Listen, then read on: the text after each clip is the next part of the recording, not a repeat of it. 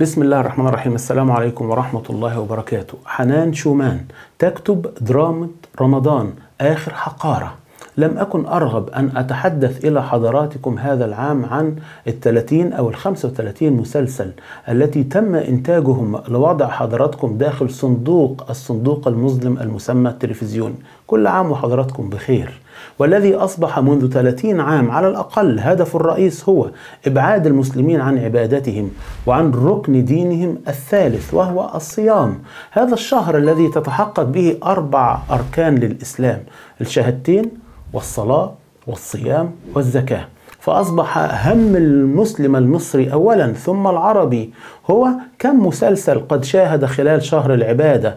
حاجة تضحك أو تبكي أو تقرف اختر ما شئت. لكن ولأني أتابع كاتبة أديبة ناقدة صحفية محترمة عبر تويتر وأستمتع بنقدها لكل مناحي الحياة فقد استوقفني نقدها لبرامج رمضان المصنوعة خصيصا للإلهاء وسيرة الفنانين والفنانات. من تزوج ومن خان ومن انتقل من حضن من إلى حضن من؟ ثم فتشت عما قالته. هذه الناقدة خفيفة الظل قوية الحجة شديدة الفهم لأدوات صناعة السينما والإعلام والدراما. فالتقطت فيديو فضحكت جدا حينما رأيته. فضحت فيه هذا الوسط الوقح. كما وصفته هي الذي أصبح ينفذ أوامر السيد الركن العقيد الجالس في شركة المخابرات للإنتاج الإعلامي وإنتاج الدراما والسينما سينرجي ولا صوت يعلو فوق صوت المعركة حنان شومان. تقول باختصار هذا الدواء به سم قاتل فإن أردت أن تشربه اشرب بالهنا والشفاء يا حبيب والديك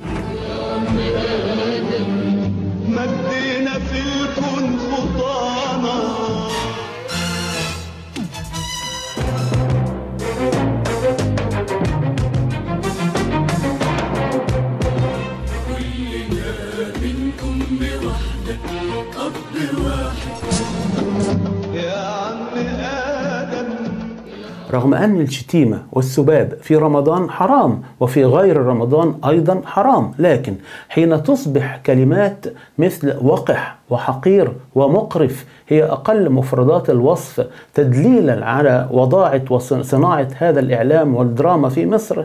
هنا أجد تخريجا فقهيا أن وصف القبح بالقبح ليس ذما ولا تحقيرا. والله نسأل أن يغفر لنا.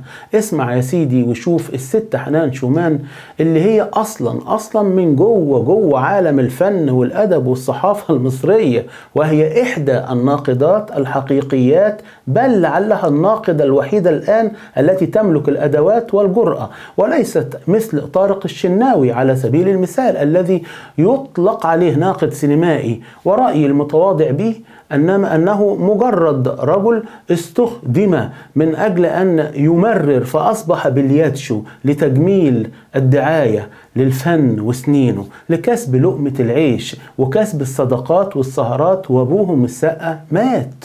مسلسلات رمضان ودراما رمضان أو التلفزيون في رمضان.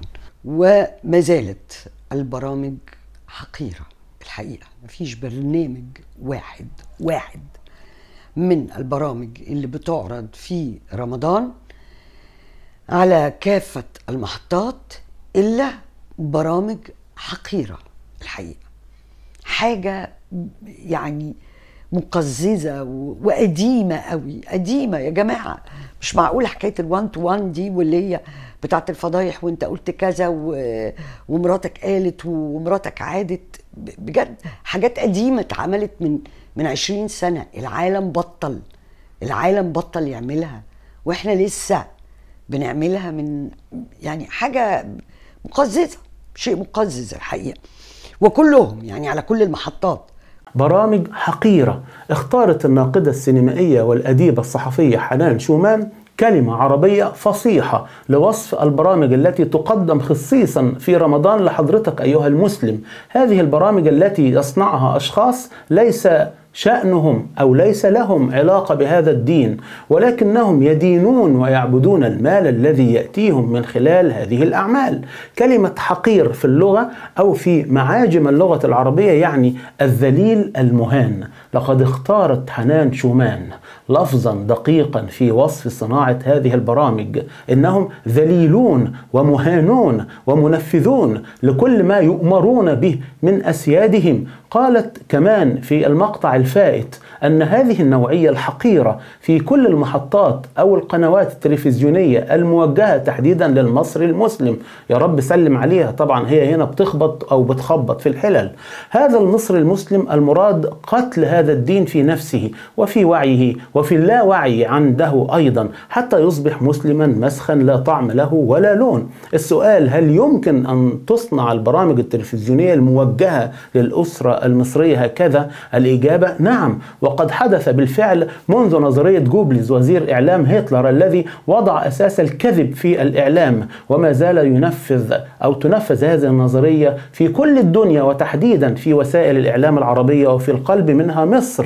هل يمكن أن تصنع الدراما التلفزيونية والسينما وتصنع شعبا مسخا لا قيمة له؟ منزوع النخوة والرجولة والدين. الإجابة حدث هذا بالفعل من خلال سينما الخمسينات والستينات والسبعينات وانت جاي. إسماعيل ياسين على سبيل المثال إسماعيل ياسين في الجيش وفي الشرطة وفي المطافي إلى آخره. إسماعيل ياسين الذي ضربوه على مؤخرته وأخذوا منه كل أمواله وممتلكاته ومات فقيرا بائعا آخر عمارة له في الزمالك لصالح الضرائب المصرية أو عشان يسدد قيمة الضرائب المصرية الناصرية. معلومة عبد الناصر كان صديق إسماعيل ياسين. ابن إسماعيل ياسين كان صديق خالد عبد الناصر وكان بيروح بيت عبد الناصر يلعب مع صاحبه.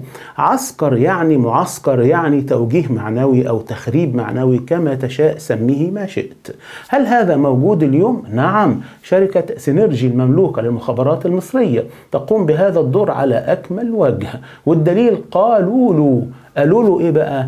قالوا إن مصر فقيرة جدا أو فقيرة قوي. ومع ذلك تم إنتاج 35 مسلسل رمضاني هذا العام من أجل تسكين حضرتك وضرب حضرتك على راسك حتى لا تدرك هل أنت تعيش في واقع أم تعيش في خيال الدراما الكاذبة الضعيفة المفتعلة التي يسرقونها بالموضوع وباللقطة وبالديكور وبالملابس وبالشخصيات وحتى الحوارات. ومع ذلك فاشلون. كما قالت الناقدة حنان شومان نفسها والسؤال الذي يدور في ذهن حضرتك الآن ويجب أن أجيب عليه مين هي حنان شومان؟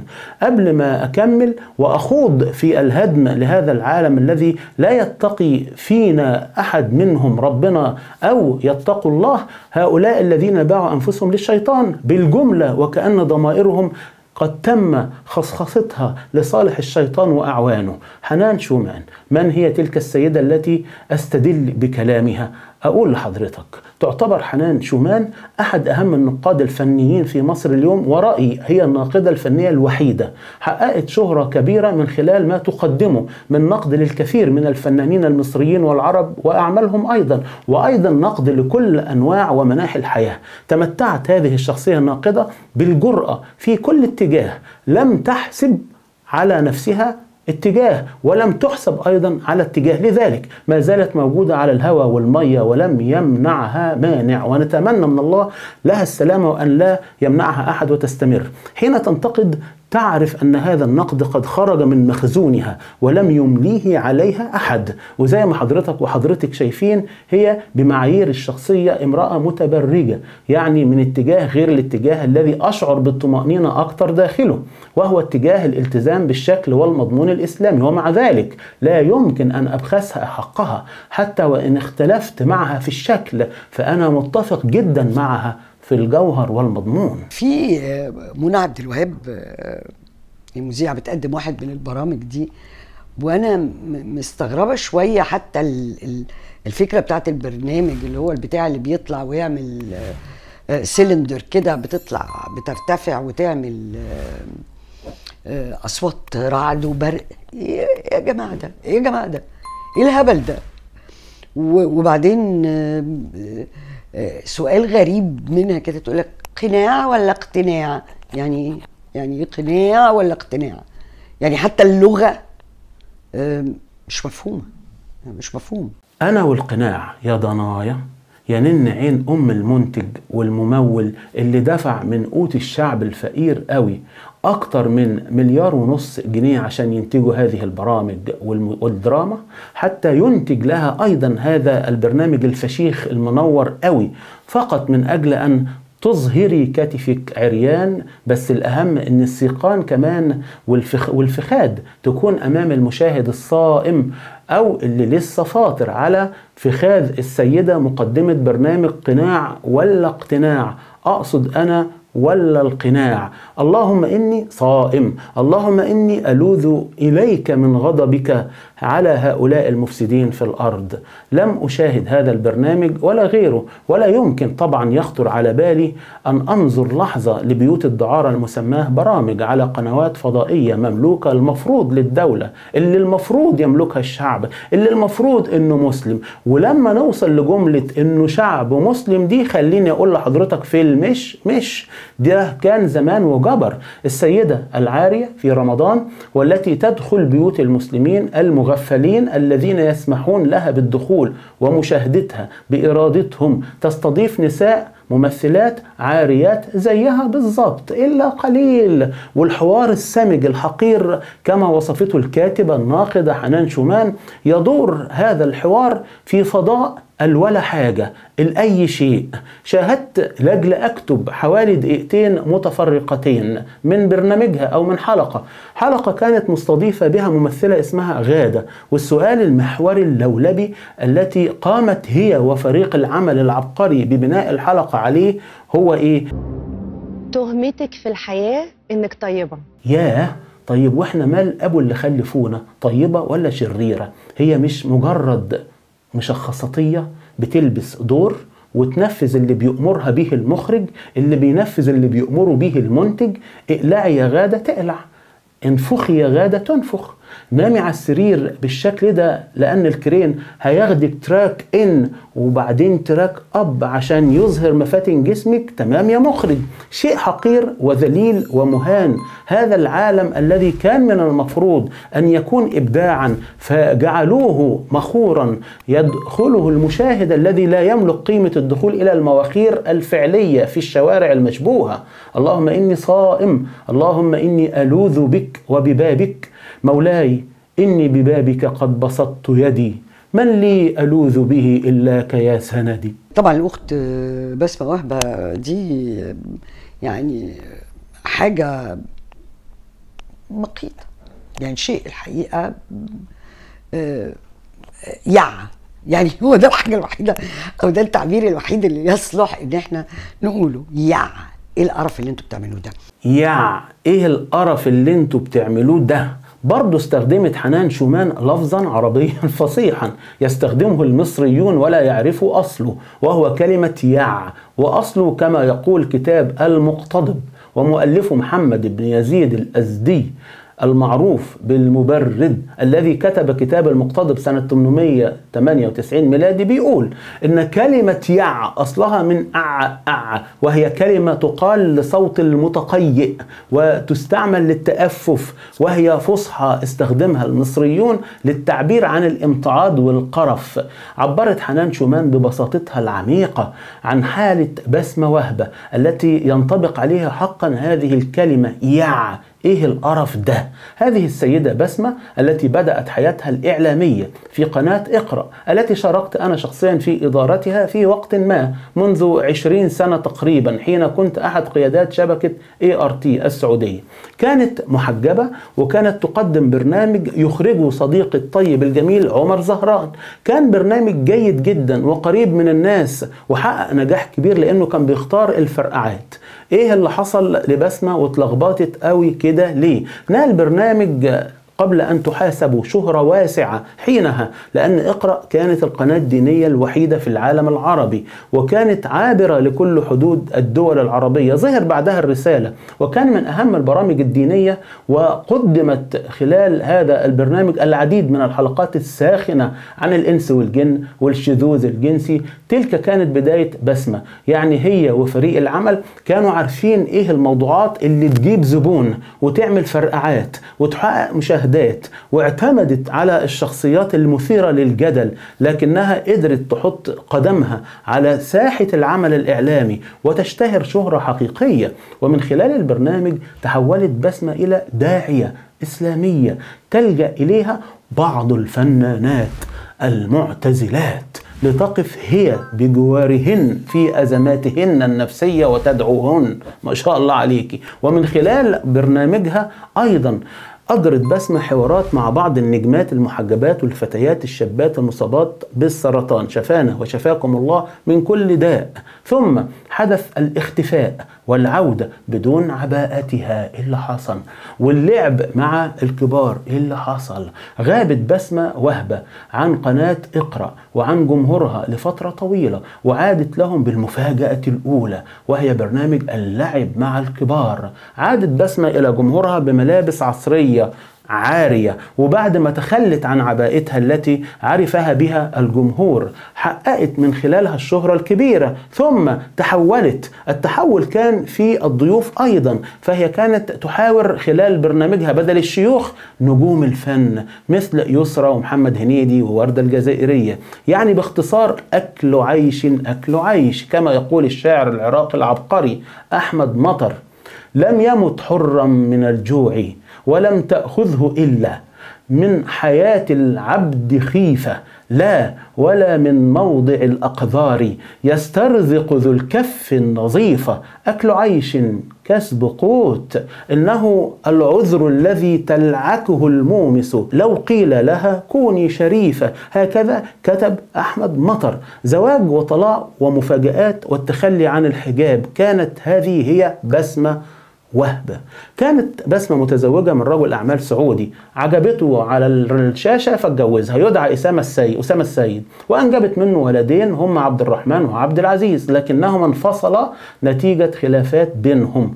واتهمت وقتها أنها سرقت أموال وذهبا من الفيلا التي كانت تعيش بها في السعودية مع السيد أسامة طليقة. قالوا أن الذهب بتاع زوج زوجها.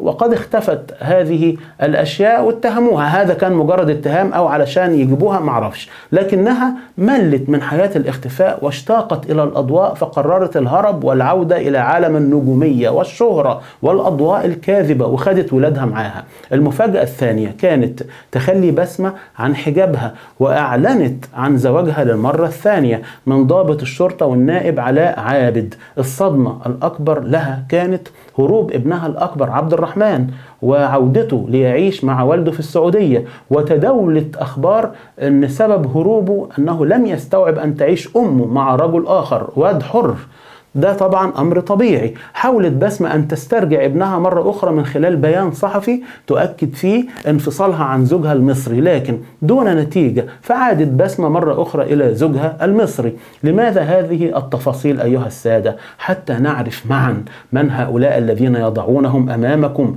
كل ليلة ليفسدوا في الأرض ويخربوا أخلاق ودين هذه الأمة ويلعبوا في عقولكم وعقول أبنائكم وينتجوا مجتمعا مصريا عربيا مسخا لا هو لبن ولا هو سمك. الإجهاض وست ساعات داخل غرفة العمليات. تعرضت بسمة لعملية إجهاض بعد فقدانها جنينها في الشهر الثالث من الحمل وكانت العملية صعبة جدا نظرا لصعوبة حالتها الصحية حيث مكثت في غرفة العمليات حوالي ست ساعات.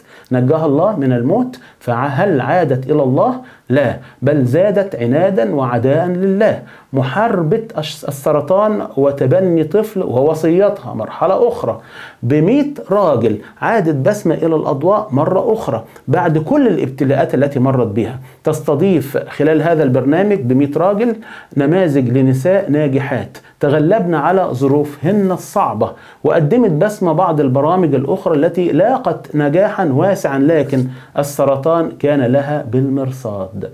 أو الدرس الجديد من الله لعلها تعود. في عام 2012 أصيبت بسمة بمرض السرطان. شفانا وشفاها وشفاكم وعافانا جميعا الله. لا أحد بعيد عن الابتلاء.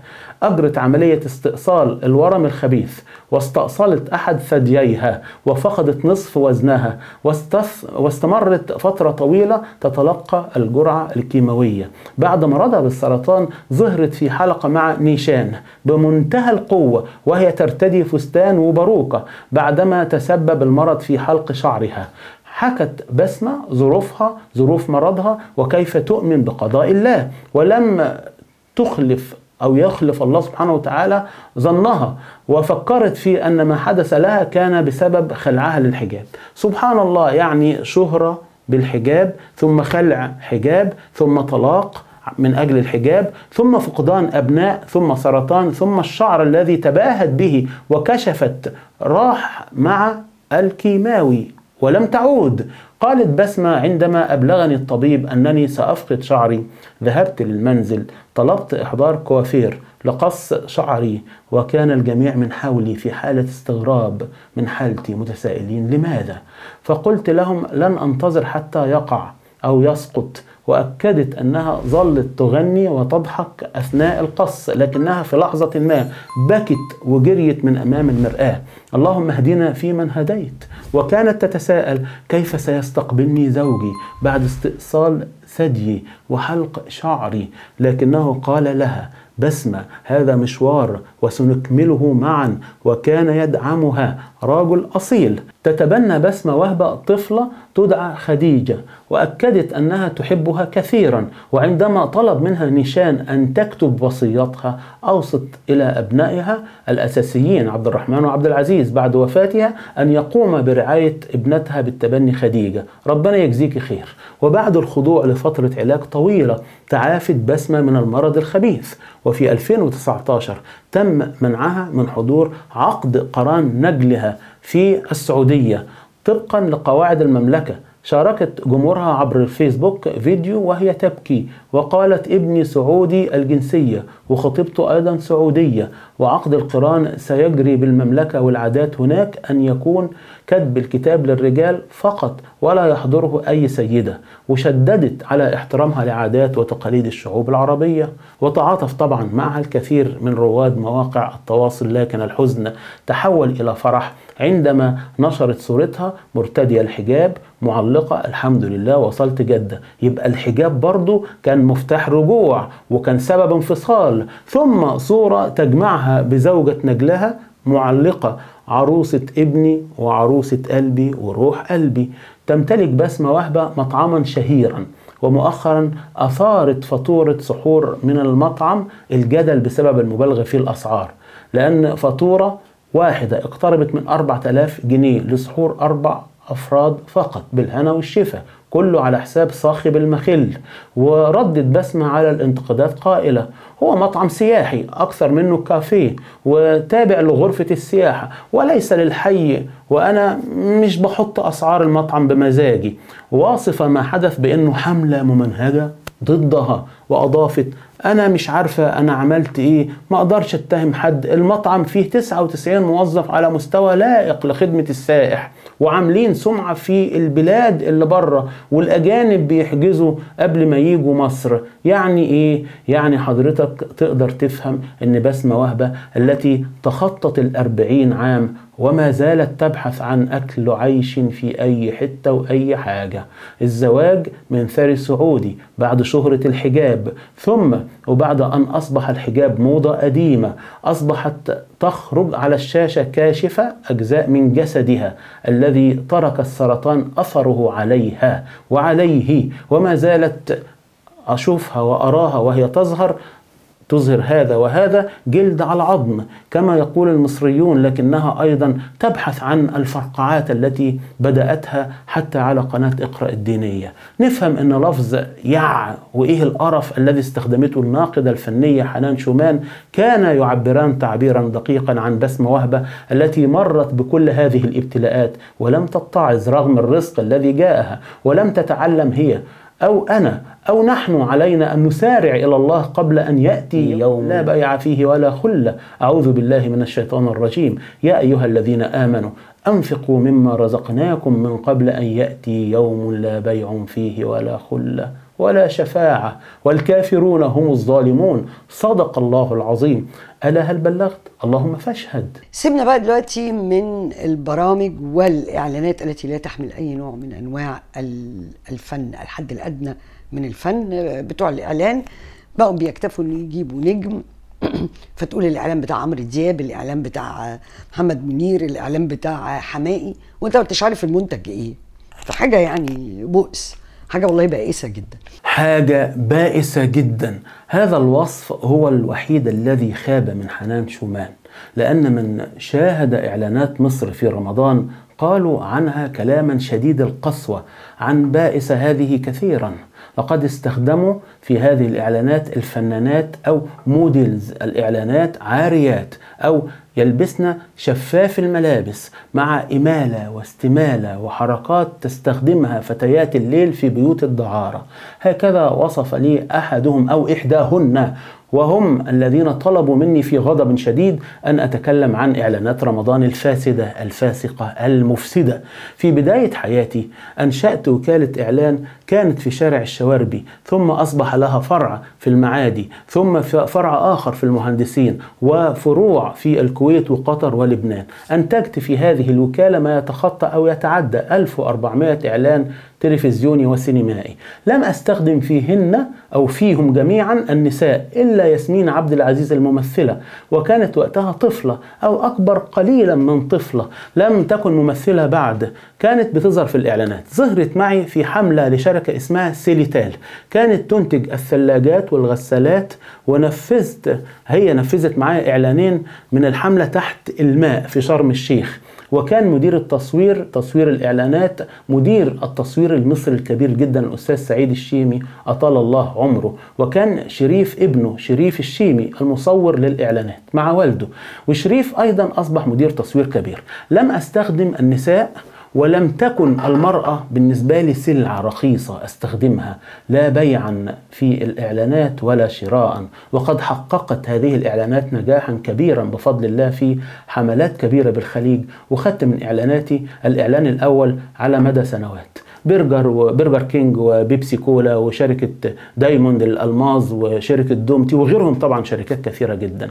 يعني ممكن يكون في إعلان بدون نساء بدون ابتذال بدون إفساد. نعم ممكن جدا. وأول من استخدم المرأة في الإعلان وأول من فتح بيوت الدعارة أمام كاميرات الإعلانات كان طارق نور أشهر مخرج إعلانات مصري مر على مصر. وكان وما زال يملك أشهر وأكبر شركة إعلانات في مصر وهو صاحب قناة القاهرة والناس التي أنشأها بتمويل إماراتي لضرب الثورة المصرية. وقد حقق ما أرادوا لأنه حقيقة رجل شاطر. هو يعني الشيطان حضرتك هيختار ناس يكونوا عبيده وليسوا متفوقين. ده كلام. هل هذا السؤال أيها السادة؟ الخلاصة مصر والمصري محاصر إعلاميا ودراميا بكل أنواع الفساد والإفساد حتى لا يبقى مصري واحد يملك النخوة والجرأة ليطالب بالتغيير وإعادة مصر لما تستحق أن تكون عليه. ليه؟ لأن الصهاينة يحكمون ويتحكمون. ليس في مصر وحدها ولكن في المنطقة العربية كلها.